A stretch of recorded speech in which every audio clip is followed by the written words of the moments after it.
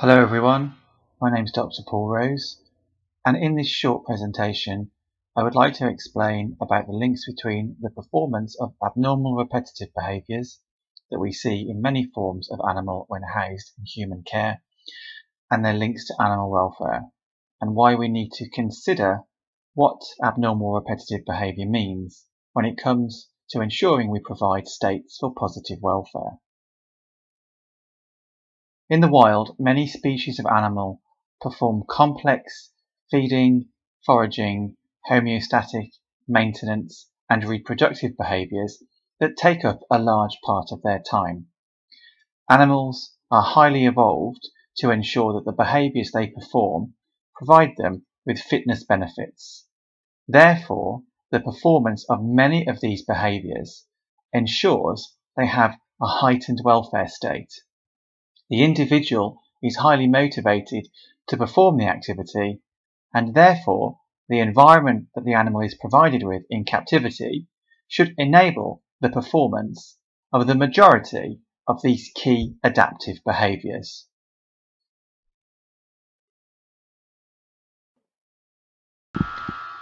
However, we can see instances in many species of animal when they are housed in human care where the individuals perform strange or unnaturally looking behaviours that apparently lack a function. And these forms of abnormal repetitive behaviour should be considered within the context of the individual's own needs, its evolutionary ecology, and the type of management or husbandry that the individual is under.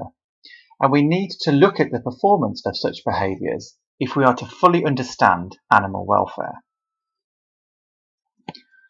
Abnormal repetitive behaviours can be split into two basic categories. Those of a repeated goal-orientated behaviour, such as impulsive or compulsive feather picking that we see in many species of parrot when housed in captivity, and those of a repeated motor function, which we often term as stereotypic behaviours, for example, the classic pacing of big cats that we can see in zoos. However, it's not just zoo animals that perform abnormal repetitive behaviours. These are seen across agricultural situations, in many domestic pets, and also in laboratory housed animals too. And although ARBs are generally defined as behaviours that are invariant and repetitive in performance, we should consider the functionless nature of ARBs when we're looking at their definition. Previous work has focused on key species that perform abnormal repetitive behaviours commonly in managed situations, for example, the polar bear. And some authors in the past have argued that ARBs are suggestive of a coping function the animal is performing this behavior because it alleviates the physiological stress response. It lowers the hypothalamic pituitary adrenal axis and consequently the animal can cope with heightened levels of arousal within its current situation.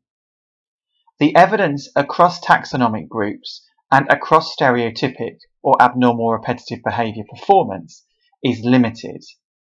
But we know there is an ecological link between the natural history of some species and the prevalence of stereotypy or abnormal repetitive behaviour performance in captivity.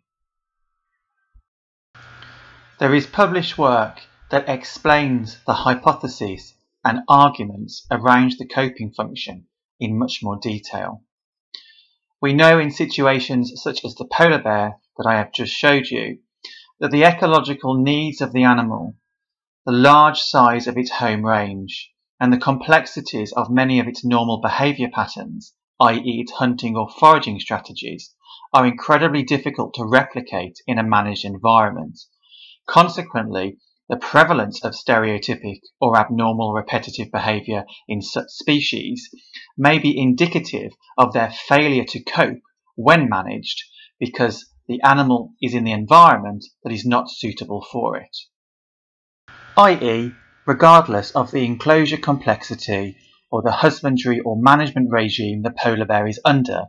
It is simply not behaviourally flexible enough to change its activity patterns to deal with this new man-made environment which is not the Arctic Circle that it has evolved to deal with.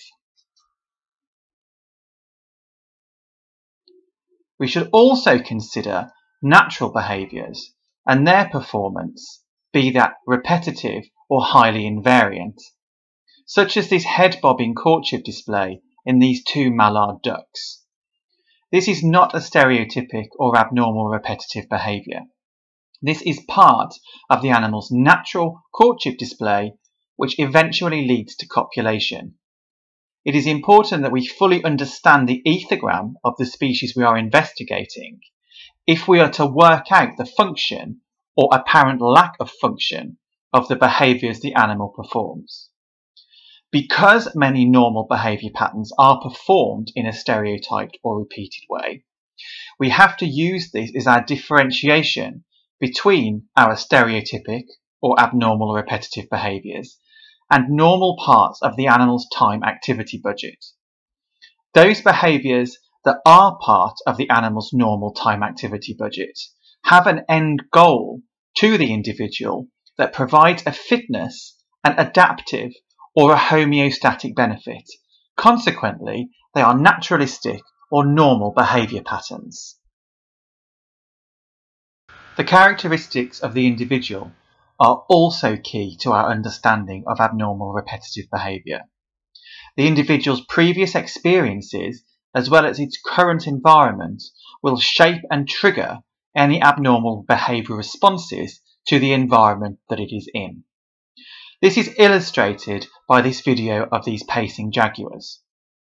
The fact that these animals can see conspecifics through a visual barrier may be the trigger for the abnormal repetitive behaviour, the mirrored pacing that is seen by these two animals. Consequently, when it comes to our understanding of abnormal repetitive behaviour and animal welfare, how the individual is dealing with its current situation is crucial if we are going to further work out what the ARB performance means.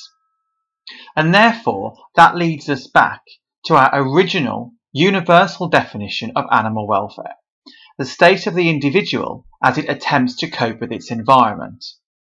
It is important that we remember that it is not just higher mammals, such as these jaguars, that can perform abnormal repetitive behaviours. Even in what we may term lower vertebrates, such as this flatfish, invariant repetitive behaviour patterns that give us an idea of a poorer welfare state can be performed. Just in the same way as we saw in the jaguars, so this animal is performing this repeated invariant movement around part of its enclosure. And in some situations, such as this ray, this behaviour can lead to pathology, and we can see the marks on the skin of this animal that have been caused by the interaction with the animal's surroundings. If we look more closely at individual physiology and individual behavioural needs, deciphering abnormal repetitive behaviours can become clearer for certain types of animal. In many species of browsing herbivore, such as this giraffe, a lack of leaves provided in its natural diet and a lack of browsing opportunities to perform the same types of action of collecting and processing food as we see in wild giraffe leads to these oral stereotypic behaviours, mouthing or tongue playing behaviours that can occur around various features of the animal's enclosure.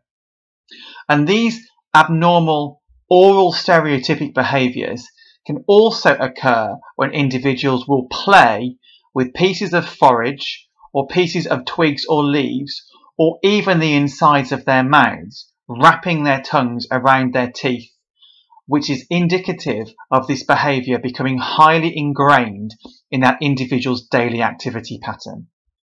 We never prevent an animal from performing an abnormal repetitive behaviour.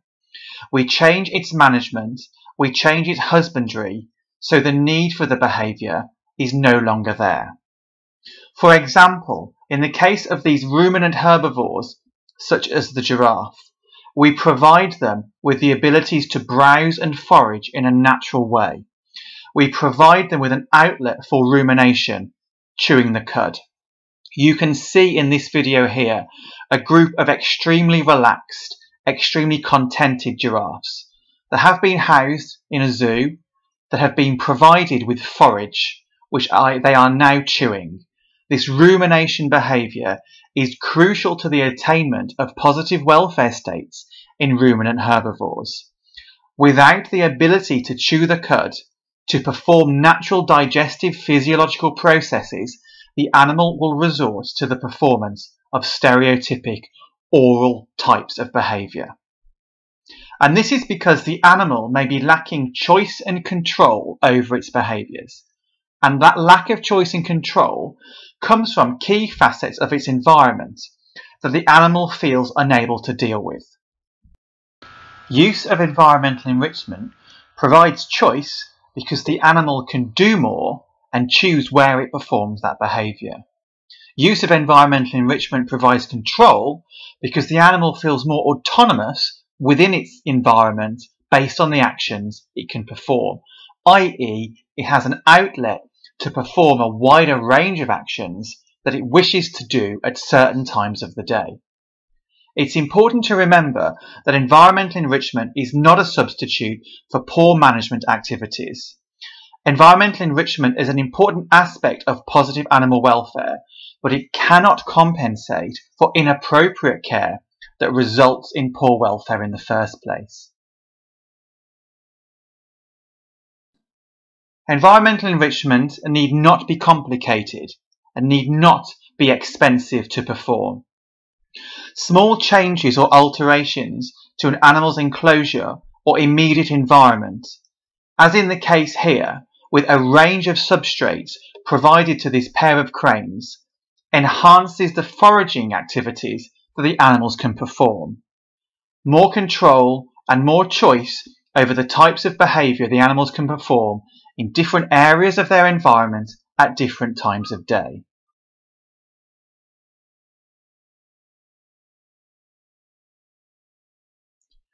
And when we come to further understand the ethogram of the animal, we can change our enclosure design more markedly, and we can provide biologically relevant features of that enclosure that enable the performance of a wide range of activities with key adaptive benefits. These antelope are Sitatunga, a semi-aquatic species from Africa. Hence they like spending time in water. Providing large bodies of water within the animal's enclosure enables it to perform a range of homeostatic maintenance behaviours as well as natural social activities that would naturally in the wild take up a large proportion of the animal's day. This change to the environment and change to the enclosure alongside of the use of wild information is crucial if we to further advance captive care. It's important to remember that even if we do provide an enriched naturalistic environment and we provide a complex social group, animals may still perform abnormal repetitive behaviours. In the case of this flock of macaws, we have some individuals in the group with immaculate plumage, and we have others where there is evidence of feather plucking.